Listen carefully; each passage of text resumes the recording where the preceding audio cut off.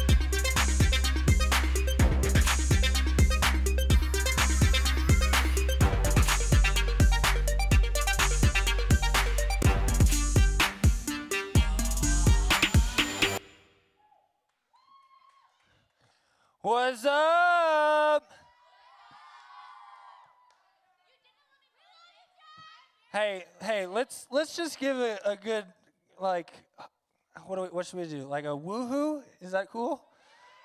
No, but we're doing a woohoo because Michaela killed that. Okay, Mo- woo woohoo on three. One, two, three. Nice. Right on. Right on. Awesome. Also, uh, does anyone's hands hurt from clapping so much? My, like legit. There's now blood on my hands, literally, from clapping so hard. I think I burst a blood vessel in my hand. That was awesome. Um, how are we doing though? You guys good? Thumbs up if we're good. Thumbs down if you're bad. If you're in the middle. Awesome. Mostly thumbs ups. That's great. That's great. Cool. Um, okay, so we have been in this series called Habits, right?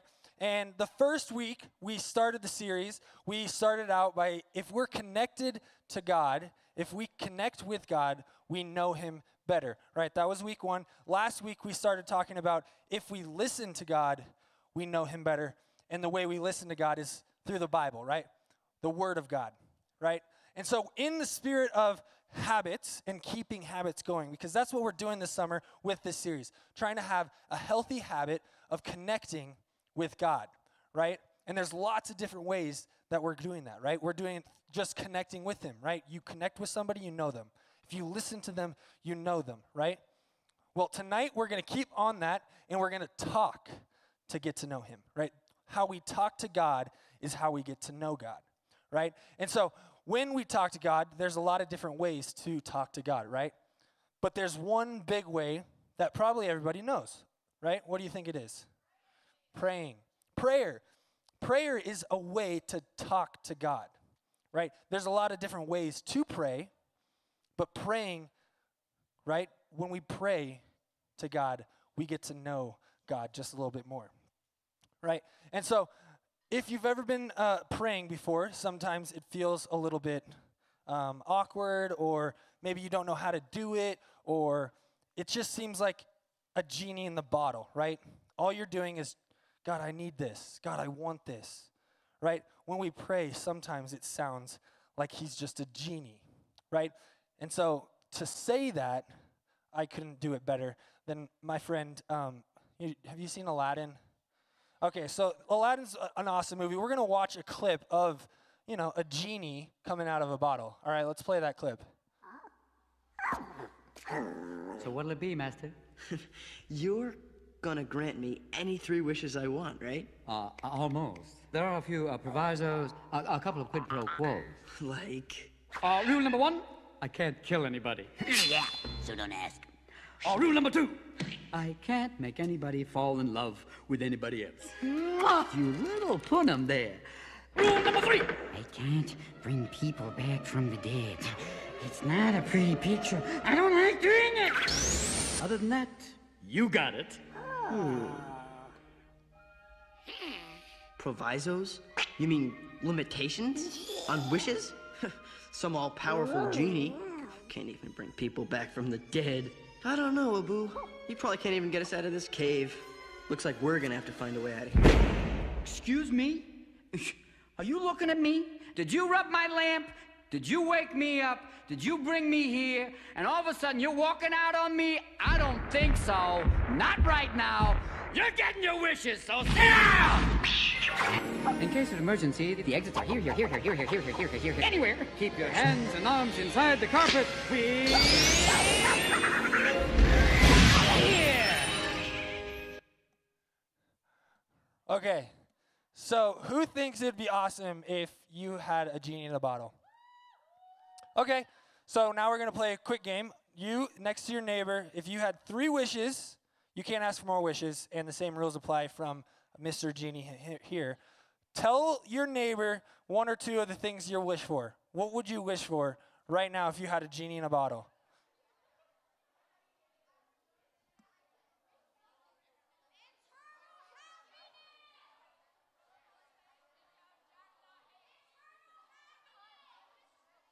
All right. Okay, what what what were uh, what were some of the things? I heard eternal happiness. Shout out a couple. What else? I you- what? What? Wish for a cookie. Peace and harmony. What? What? Your dog to live as long as you. That's a really good one. One more.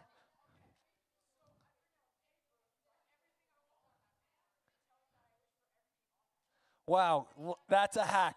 Write everything you want on a piece of paper. Tell him I want everything on this list to come true. That's pretty smart. Okay, that's fair. I mean, it might be in the asking for more wishes category. I'm not sure. Okay, yeah. So here's the thing. Here's the thing. When we we think of prayer sometimes like a genie in a bottle, right? When we pray, sometimes I feel like it at least for me. I'm just saying, God, I, I want this. God, I need this. God, this will help me, right? And it's just me talking to God, at God, right? I'm just asking God for these things to happen. But really, when we are praying, there's more to just asking God for these things, right? These wishes, these hopes, right?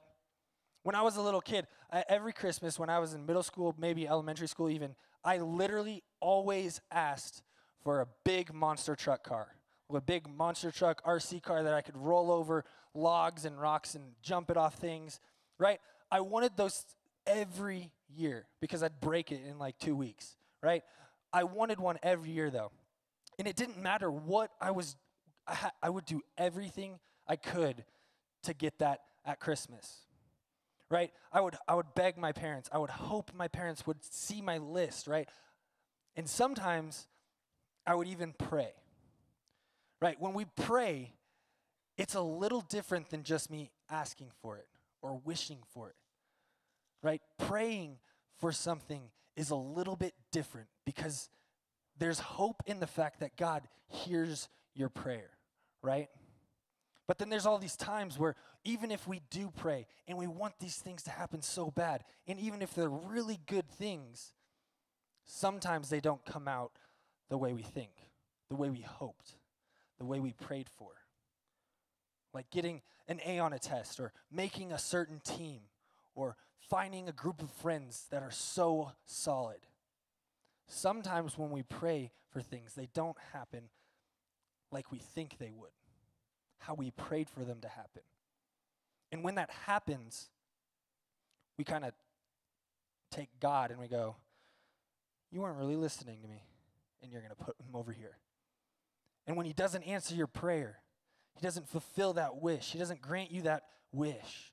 You might be wondering one of these, some of these questions. These questions of Does he hear my prayers? Does he care about what I'm feeling or experiencing? Is he even there at all? Right? Sometimes I feel like that.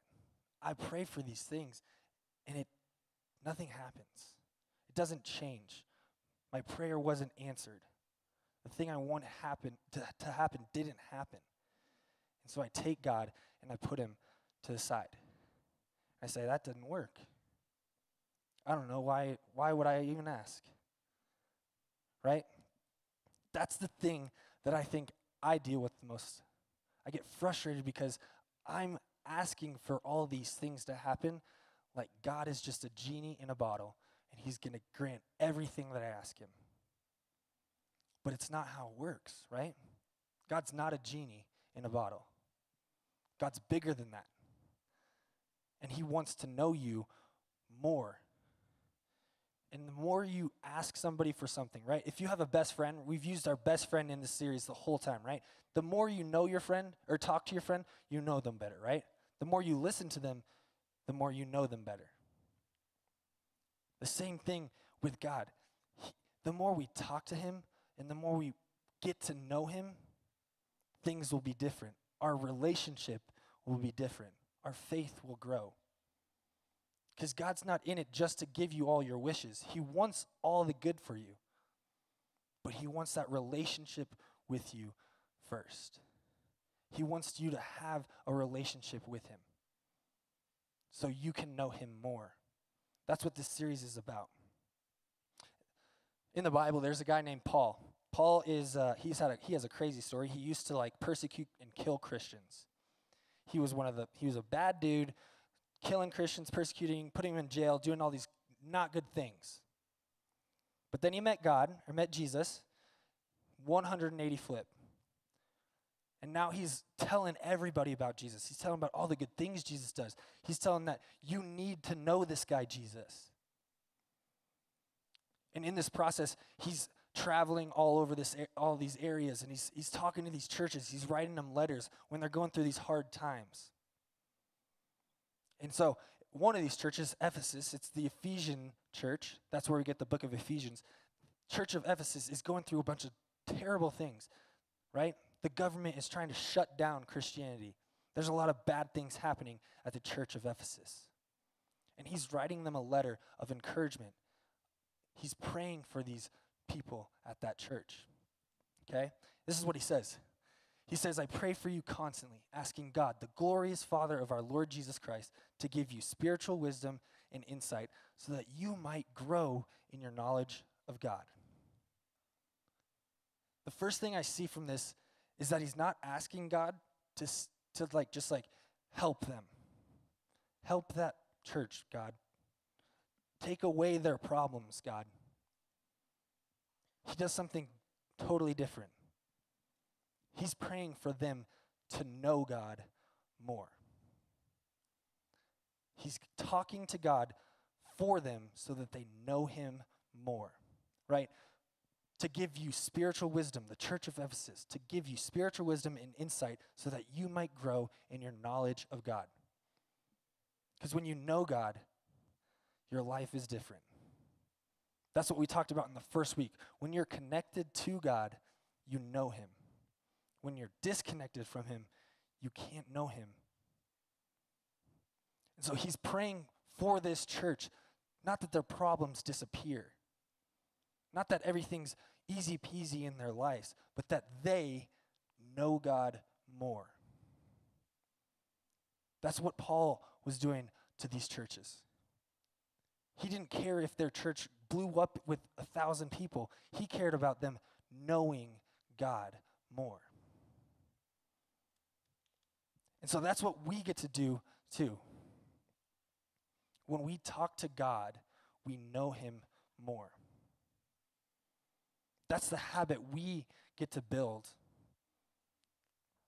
When we're here in the summer and we have all this free time, right? We have a lot more time to go to the pool, go on vacation, go on a hike, bike ride, hang with your friends. There's places in your life now that you can build these healthy habits of connecting to God by just talking to Him. Right? Every day we can read our Bibles and we can listen to God, see what He has from the Word of God. But then sometimes it's helpful to have that back and forth. Right? When you know your friend, it's because they kind of respond back. They listen to you and you talk back. They talk and you listen and you talk back. Last week we talked about listening to God. And now we get a chance to talk back to God. And it's not in the way of us saying, God, give me this. I need this. God, I want this. But it's a conversation with Him who listens for you, who wants good for you, so that you can know Him better through a two way conversation. Because remember, God's not a genie in a bottle. He's not just going to say yes, yes, yes. We have to have a relationship with Him first. So when we pray, if we change our mindset from, I want this, I need this, I wish for this, God help me with this, those are all good things. There's more to the story, though. There's more to put in that prayer when we're talking to God. He wants to know all of the things, the whole thing. Because when we include everything, He knows us better. We know Him better. Because when we talk to God, we know Him better. Right? So here's the thing every week we try to do something that you can take from this place. As soon as you leave this place, you can go back to your home and do it yourself on your own, in your own way. An application that you can take healthy habits into your life outside of Garage, right? I would say we probably have pretty good habits here at Garage, right? We do good things here. But when we leave this place, do we have all these healthy habits that we have here, or we just do it here? Our goal is to take these habits we're, we're working on, these things that we want to make our lives better, to grow our faith, to have a better community, to worship better, to listen to God better, to connect with Him better. It happens here, sure. That's, that's great. But the goal is to take these habits outside of this building. Take them to your family, take them to your friends, take them to the teams you play on. So, if we're going to learn to pray and talk to God every day and have this healthy habit of connecting with Him, talking with Him to know Him better, I'm going to tell you a few things that I've done. There's a few things that I, I know people do that help them talk to God. You guys, we all have a best, a best friend, right? Pretty much. You have a friend that you can talk to about just about anything, right? That's the same way I talk to God. I have a best friend. I talk to him about these things. But after I talk to him about those, I go, okay, you know what? I need to have my time with the Lord. I need to tell him what I just told you. I need to tell him these things. And so I'll sit down and I literally talk to God the same way I talk to my best friend. If that's not helpful, this can be helpful. I did this for a while before I didn't really know what praying was like, what I was supposed to do with praying. So, first thing is you have to commit to praying. You have to set aside some time, just like you set aside time for reading the Bible or, or connecting with God in your way through a hike, through worship. Set aside time to say, I'm going to pray. And have, have a goal, have a, a way to pray. And the way to pray that I think is helpful is you thank God. You thank God first for whatever reason. And I usually had a notepad out and I'd have two or three things that I'd write in. God, thank you for giving me a great family. Thank you for giving me an awesome job. Thank you for whatever it is. Write them down. Put them in your phone. Whatever it is. Thank Him first. Two or three things. After you do that, same thing. What are you worried about? What makes you afraid of things? Write them down. God, I'm afraid I'm starting a new school. God, I'm an eighth grader now. I st- I'm in middle school now. What are you worried about? Write them down. Two or three things. Third thing, share your desires, your hopes, your wishes. Share those things with him. Right? That's what we that's what we usually go to right away. What you need, what you want. That's the first thing that's the first thing we think of when we're praying. What do I want? What's God going to give me? Write those down. Two or three things.